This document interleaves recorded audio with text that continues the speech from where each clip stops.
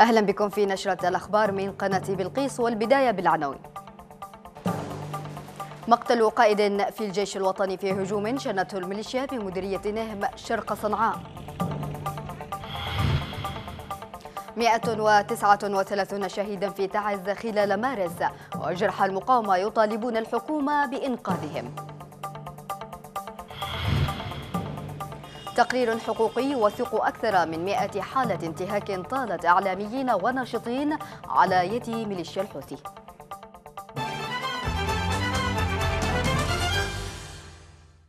أهلا بكم. قتل شخص وأصيب اثنان آخران بجروح خطيرة بانفجار سيارة مفخخة في مدينة سيئون بحضرموت وقال مراسل قناة بلقيس أن سيارة المفخخة انفجرت قرب شركة النفط في المدينة.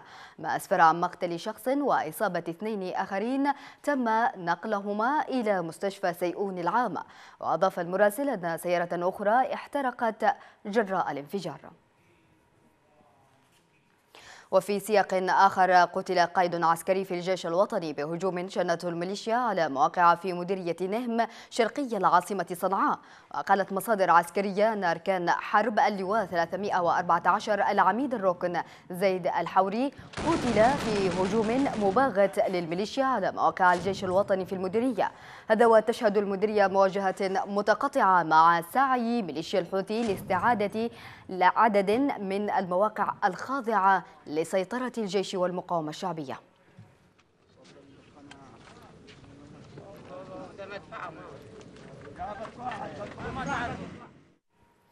وللمزيد من التفاصيل ينضم إلينا الناطق باسم المقاومة في صنعاء عبد الله الشندقي. مرحبا بك سيد عبد الله. وتتحدث الأنباء عن هجوم أسفر عن مقتل قائد عسكري. هل لك أن تصف لنا ما ما الذي حدث؟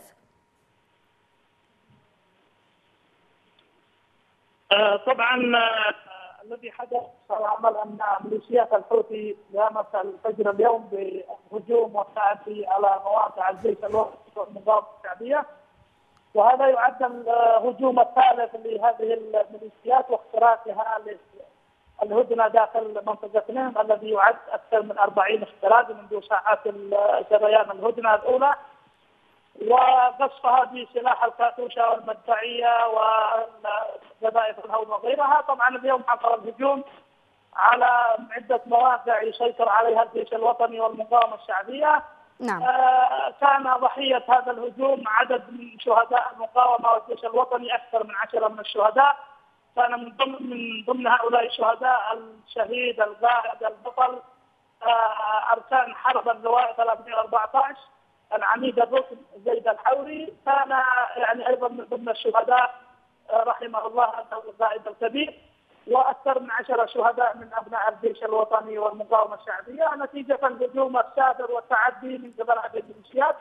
طبعا هذه الميليشيات لم تلتزم بالهدنة منذ بداية سريانها بادرت بالساعات الأولى بإطلاق صواريخ الكاتوشا والقذائف الهول والمدفعية والأسلحة يعني الرشاشات الثقيلة آه هذه الميليشيات لم تلتزم بالهدنة اطلاقا، نحن يعني آه عبر قناتكم الكريمة نبعث برسالتنا إلى نعم.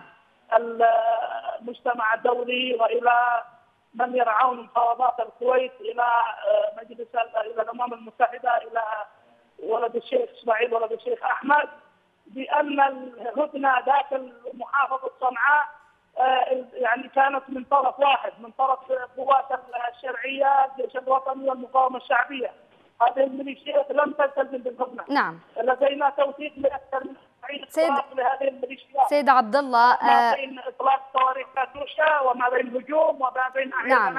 سيد عبد الله هل لا زالت مديرية نهم وقوات الجيش المتواجدة فيها ملتزمة بالهدنة حتى بعد هذا الهجوم؟ نعم لا زلنا الكريمه ملتزمين بالهدنة رغم هذه الانتهاكات والهجومات التي تتحقق ويعني عدم التزام الطرف الآخر نحن فقط من باب حقنا الدفاع عن النفس نرد على هذا الهجوم ونرد نعم. الهجوم فقط ونرد على يعني أماكن إطلاق الاعيره الناريه والقذائف وأيضا الصواريخ الكاتوشة لا زلنا إلى هذه اللحظة ملتزمين بتوجيهات القياده السياسية نعم. والتي تقضي بعدم إطلاق النار والتزامنا بالهدنه نعم. ولكننا نبعث برسالتنا آه، من ذكرت لك بأن يعني يكون لهم موقف تجاه هذا الاعتداء وعدم الالتزام بالهدنة. اليوم هذه الميليشيات ليست لم تقدم ضمانات للمجتمع الدولي ولمن لا يرعون الاتفاق. ويعني بالتزامها بما تشفر عنه المفاوضات نعم. وما تخرج به نعم. مؤتمر الكويت. شكرا. آه، يعني وأيضا تطبيق قرار 2016 ليست هناك ضمانات من قبل هذه الميليشيات. نحن مستعدون على الأرض للمدافع عن أنفسنا ولنا حق الرد في الدفاع عن النفس. نعم. اذا عبد الله الشندقي آه، شكرا جزيلا. نعم. الناطق باسم المقاومة في صنعاء عبد الله الشندقي آه، كنت معنا عبر الهاتف. شكرا جزيلا لك. وإلى تعز حيث استشهد مدني وأصيب آخر في قصف شنته الميليشيا على الأحياء السكنية في المدينة. وقالت مصادر محلية إن المواطن طه علي السلال استشهد وأصيب أنور صادق في قصف شنته الميليشيا على منطقة الديم في مديرية صبر. وأضافت المصادر أن المنطقة تتعرض لقصف مستمر رغم وقف إطلاق النار المعلن مؤكدة استمرار الميليشيا في قصف حي الثورة وكلابة والزهراء والكمب والدعوة بمختلف الأسلحة. قال ائتلاف الإغاثة الإنسانية في تعز إن 139 مدنيا قتلوا وجرح نحو 850 آخرين. جراء عملية القنص والقصف التي شنتها الميليشيا على الأحياء السكنية في المدينة خلال مارس الماضي. وأضاف الائتلاف في تقرير له أن عدد المنازل والمنشآت الحكومية والخاصة التي تضررت بفعل الحرب والقصف خلال شهر فبراير بلغت 66 منشأة ومنزلا ودور عبادة. تشيع آخر وليس الأخير في مدينة باتت فيها الجنازات جزءا من يوميات الحرب المستمرة. هذه نعوش بعض قتلى ما تسميه المقاومة آخر ضحايا القصف العشوائي على الأحياء السكنية. تودع الأم وأبناؤها رب العائلة ببالغ الحسرة والقهر فينكسر ضوء النهار في عينيها. سيكبر هذا الطفل دون أب وستظل ذكرى رحيله باقية في قلبه وعقله إذ لم يعد في داره وحيه ما يشير إلى الحياة أو قابلية الاستمرار فيها. ينهض الأهالي كل يوم محبطين ومقهورين ولا شيء يضيء لهم صوابية الضفة التي يقفون عليها باستثناء المقاومة. أما انتظار الانتصار الدبلوماسي فلا أمل فيه يقول الناس في هذه المدينة المحاصرة لأكثر من عام. في شهر مارس الماضي فقط رصد ائتلاف الإغاثة الإنسانية في المدينة. مقتل 139 مدنيا وجرح 849 آخرين جراء عمليات القنص والقصف العشوائي. تصدر الأطفال الفئة الثانية في إعداد الضحايا حيث وصل عدد ضحاياهم إلى أحد عشر شهيدا و140 جريحا بينما استشهدت ست نساء. أما عدد المنازل التي تضررت بفعل القصف يقول ائتلاف الإغاثة الإنسانية فبلغت 66 منشئة ومنزلا ودور عبادة. كل شيء في تعز منقسم حول نصيبه من حصص الدمار والموت اليومي وبذلك يعيشون تباينا في مقتنياتهم من الخوف والقلق والاكتئاب. حين تدون الحرب سيرتهم النفسية كمعتقلين في جوفها لأكثر من عام.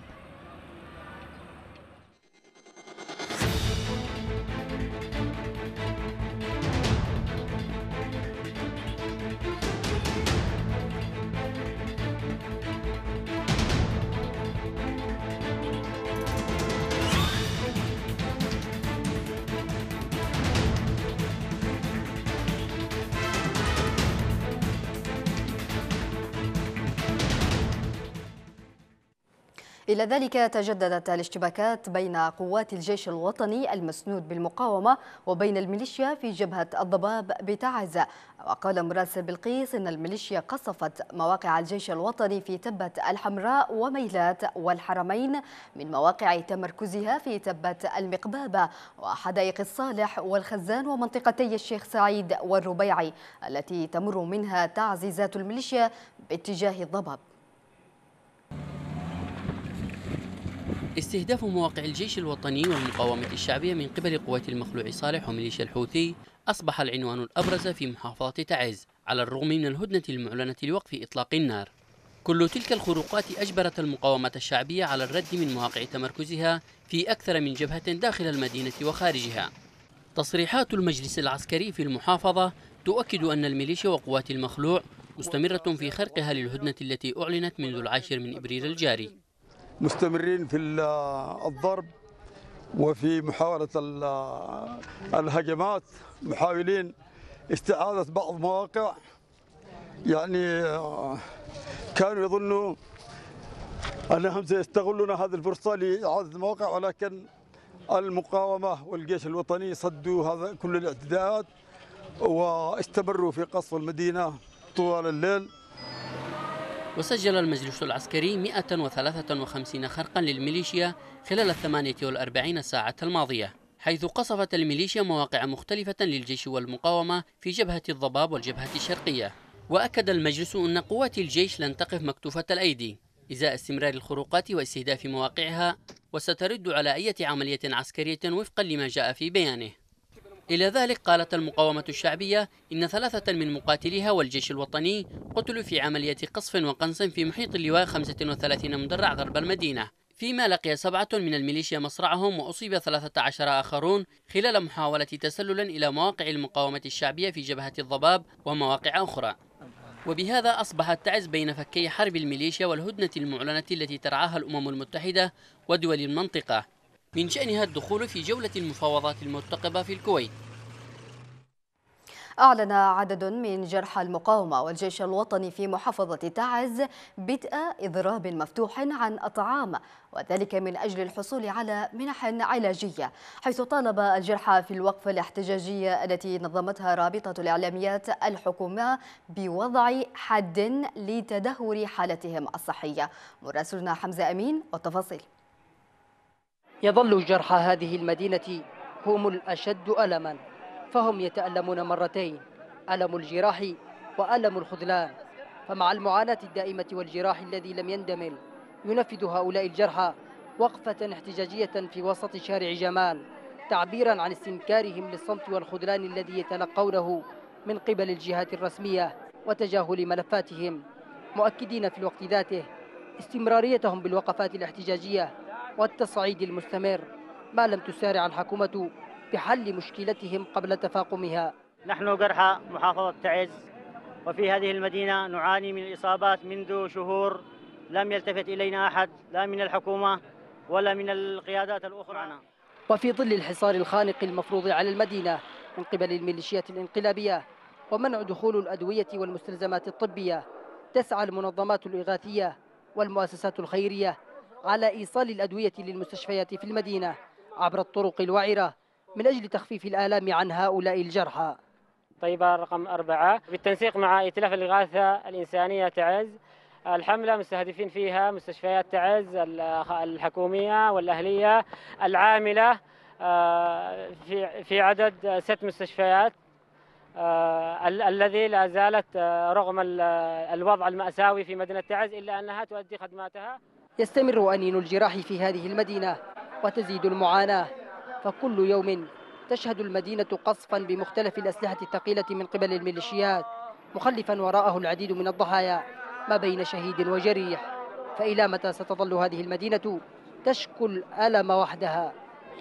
مناشدات مستمرة لإنقاذ جرح المدينة المحاصرة. فيما الجهات الرسمية المتمثلة بالحكومة الشرعية تقف مكتوفة الأيدي أمام كل ذلك. حمزة أمين قناة بلقيس. تعز. ومعنا من تعز منسقة حملة انقذوا جرحى تعز الناشطة حياة الذبحاني. مرحبا بك حياة.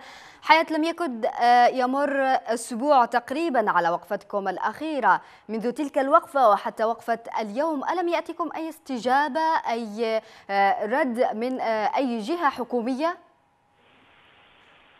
نعم. تكفي الحكومة بما كانت وعدت عليه من تسيير الجرحى. كنا موعودين بتسيير 200 جريح دولة السودان شقيقة لكن حتى الآن لم يتم تسيير هؤلاء الجرحى. وكما يقال نسمع جعجعة ولا نرى طحينة. الوضع هنا في تعز أصبح كارثي مأساوي للغاية. هنا الجراح تتعفن أيادي تقطع وأقدام تكسر ولا ولا مجيب اليوم نحن خرج نعم. الشرعية إلى قوات التحالف نناشدهم بأن يقوموا بالتدخل الجاد والعاجل والسريع لإنقاذ جرحى مدينة تعز. نعم. وهؤلاء في جراحهم. فقط في هذه المدينة لأبسط مقومات التطبيب بين غرف عمليات غير مؤهلة لدينا هنا مغلقة الوضع فعلا كارثي للغاية ومأساة للغاية. سيكون ذلك وصمة عار هذه الحكومة إن لم تتدخل وتنقذ هؤلاء الجرحى. الجرحى. معرضين نعم. للإصابة بالشلل التام إن لم تتدخل الحكومة وتقوم بتسيير هؤلاء نعم حياة أنت تتحدثين عن وعود. هل هنالك تواصل بينكم وبين الجهات المسؤولة عن ملف الجرحى؟ ما الذي يقولونه لكم؟ لماذا لم يتم تنفيذ هذه الوعود؟ أنت تحدثت عن وعود. نعم. مضى ونحن ننتظر أن أن تفي الحكومة بما وعدت عليه. ليس من القليل أن تمر سنة كاملة 12 شهر ونحن ننتظر أن تفي المحافظ علي المعمري جهود مشكورة وجفاء لاجل جرحى مدينة سعد ولا زال هو يتابع هذا الملف لكنه لم الاستجابه التامة والكاملة لاجراءات تسيير هؤلاء الجرحى. لدينا كذلك وعود بتأهيل مستشفى خليفة العام في التربة. هذا المستشفى الذي إذا تم تأهيله سيوفر علينا الجهد والتعب والسفر إلى الخارج كذلك. نحن نسال عبر قناة بالقيس لماذا لا يتم استجلاب أطباء متخصصين إلى مدينة عدن ويوفر على الجريح وعلى الحكومة مشقة نعم. السفر إلى الخارج. هذه الوعود في حقيقة الأمر لم لم نجد استجابة لها حتى اللحظة لكننا لا زلنا نعول ولا زلنا نتفاعل ولا ولا زال الأمل يحظونا بأن تستجيب الحكومة لهذه المطالب المشروعة هؤلاء الجرحى هم قدموا أرواحهم وبترت أقدامهم وأطرافهم وهم يدافعون عن الشرعية وعن نعم. الجمهورية وعن نعم حياة. مدينة تعز هؤلاء الجرحى سقطت دماءهم لأجل أن لا تسقط قيادة هذا الوطن فما ينبغي هذا التدخل نعم. والإهمال من قبل هذه الحكومة شكرا هذه المشاعر تنعكس سلبا على أبناء سكان مدينة تعز وعلى المقاومين في الجبهات لذلك نحن لازلنا كما قلت مسبقا نتفاعل و ونرجو من الحكومة ومن الرئاسة ومن قوات وصلت الفكرة حياة شكرا لك. تجاه الجرحى. نعم إذا حياة الزبحاني الناشطة ومنسقة حملة إنقذوا جرحى تعز كانت معنا عبر الهاتف من المدينة. شكرا جزيلا لك حياة. وإلى محافظة الضاله حيث اتهم المحافظ فضل الجعدي اطرافا لم يسمها بتشجيع أعمال العنف التي تخل بأمن المحافظة. وقال الجعدي خلال لقاء موسع ضم أعضاء من السلطة المحلية والمجلس المحلي وقيادات في المقاومة أنه من السهل تجاوز الكثير من المشاكل التي تعانيها المحافظة في حال استشعر الجميع المسؤولية. اسمع اسمع كشف تقرير صادر عن منظمة وثاق للتوجيه المدني ارتكاب ميليشيا الحوثي والمخلوع أكثر من ستة آلاف انتهاك في محافظة الضالع خلال عام كامل. وتنوعت الانتهاكات التي رصدتها المنظمة بين القتل والإصابة والاختطاف وشملت مركز المدينة وسداح ومديرية قعطبة ودمت وجبن والحشا. حيث بلغ عدد القتلى الذين رصدهم التقرير نحو 390 شخصا بينهم 15 امرأة.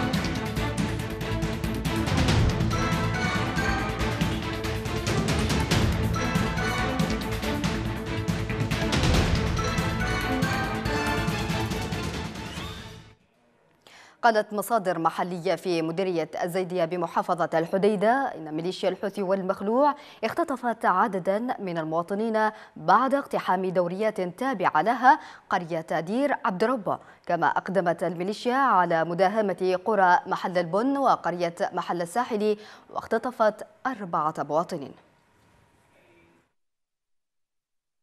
وفي سياق آخر توجه الرئيس عبد الرب منصور هادي إلى تركيا ليترأس وفد الجمهورية اليمنية في القمة الإسلامية ويشارك في القمة التي ستنعقد في اليومين المقبلين بمدينة إسطنبول أكثر من 30 رئيس دولة وحكومة.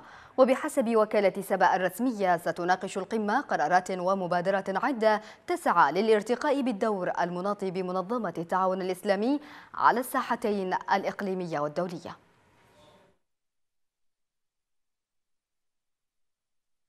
إلى ذلك أكد وزير الخارجية عبد الملك المخلافي أن الحكومة اليمنية ملتزمة بقرارات الشرعية الدولية خاصة قرار مجلس الأمن رقم 2216 والقرارات الأممية ذات الصلة.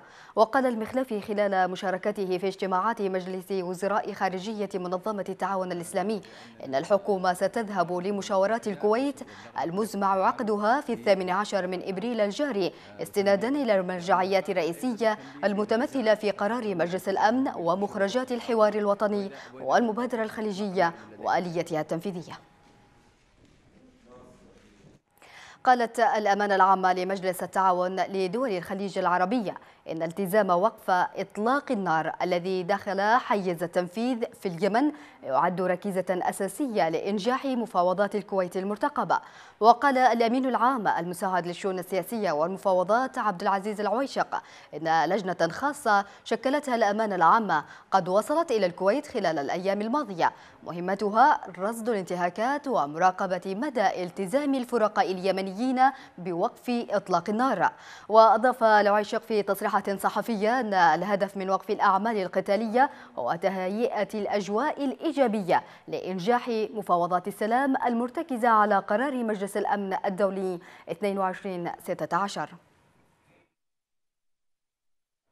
سلم نائب رئيس الفريق الركن علي محسن الأحمر السفير الأمريكي لدى اليمن ماثيو تولر قائمة بالخروقات التي قامت بها ميليشيا الحوثي والمخلوع في عدد من مناطق المواجهات ونقلت وكالة سبأ الرسمية عن الأحمر قوله إن الحكومة عازمة على إحلال السلام وفقا للمبادرة الخليجية ومخرجات مؤتمر الحوار الوطني وقرار مجلس الأمن الدولي 2216 وأشار إلى رغبة الحكومة في إيجاد حل يعيد الشرعية وينهي الانقلاب والآثار السلبية الناتجة عنه وينزع سلاح الميليشيا ويعيد للدولة هيبتها.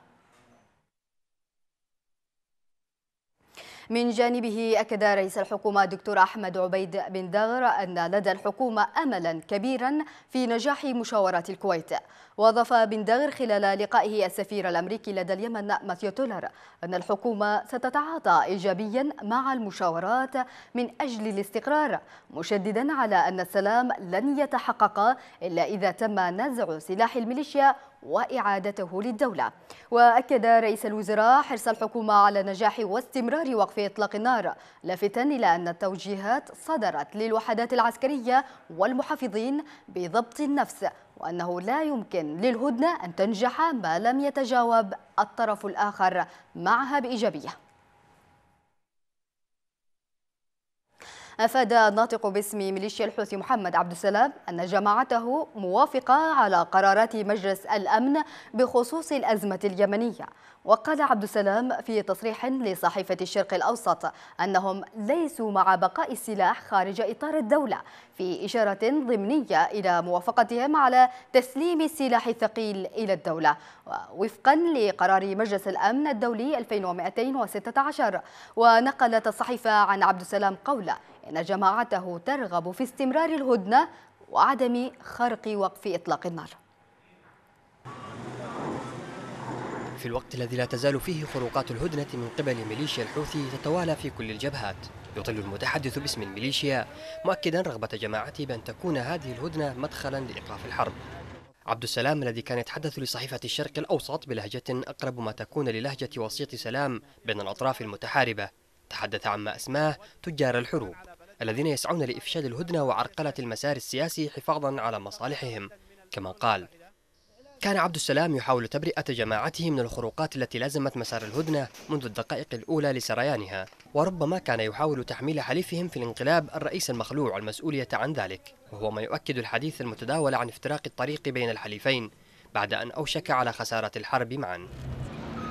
ميليشيا الحوثي وعلى لسان المتحدث باسمها أعلنت أيضا موافقتها على القرار الأممي 2216 والذي يتضمن الانسحاب من المدن وتسليم السلاح. لكن من غير المؤكد أن ذلك يعني نهاية الحرب أو أن الميليشيا ملتزمة بشيء منه حتى الآن.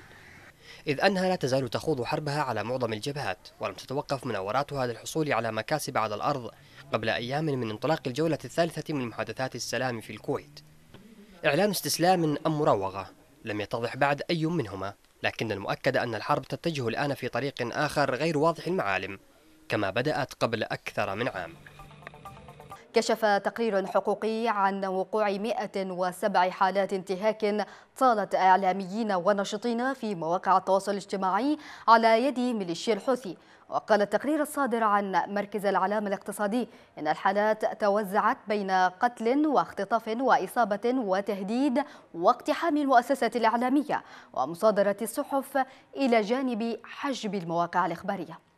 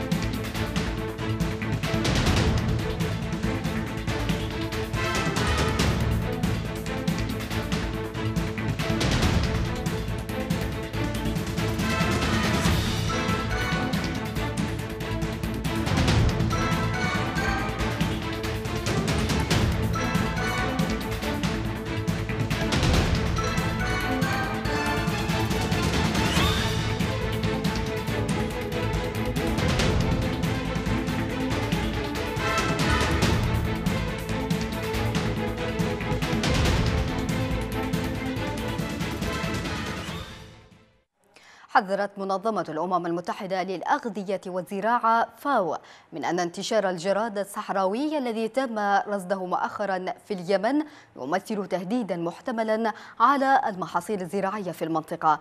ودعت المنظمة الدول المجاورة بما فيها السعودية وسلطنة عمان وإيران إلى التأهب والاستعداد بفرق المسح والمكافحة واتخاذ الإجراءات الضرورية لمنع هذه الحشرات المدمرة من الوصول إلى أراضيها.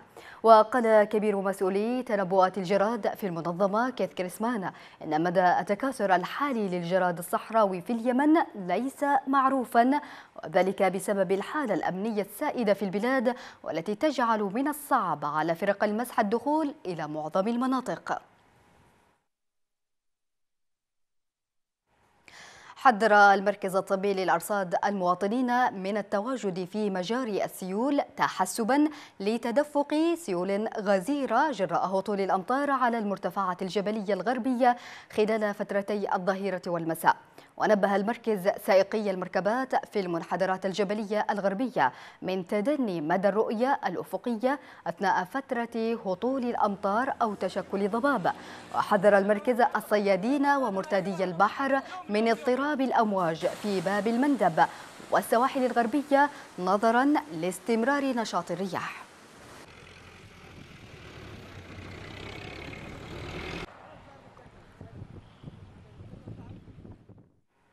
فاز الرسام اليمني مراد سبيع بجائزة مؤشر حرية التعبير في مجال الفن من منظمة إنديت أون البريطانية للعام 2016 والتي تمنحها سنويا للمدافعين عن حرية التعبير على مستوى العالم.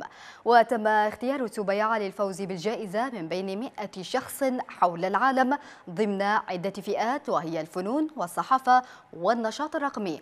وقد تسلم الجائزة في حفل أقيم بالعاصمة البريطانية لندن وتعد هذه ثاني جائزة يحصل عليها مراد سبيع خلال أقل من ثلاث سنوات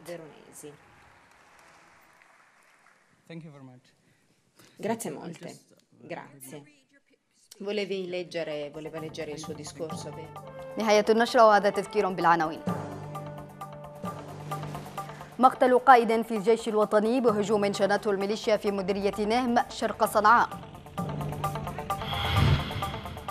139 شهيدا في تعز خلال مارس وجرح المقاومة يطالبون الحكومة بإنقاذهم. تقرير حقوقي يوثق أكثر من 100 حالة انتهاك طالت إعلاميين وناشطين على يد ميليشيا الحوثي. نهاية النشرة قدمناها لكم من قناة بلقيس للمزيد. يمكنكم متابعة موقع القناة الإلكتروني كما يمكنكم أيضا التفاعل معنا عبر صفحاتنا على مواقع التواصل الاجتماعي. نلقاكم على خير في أمان الله.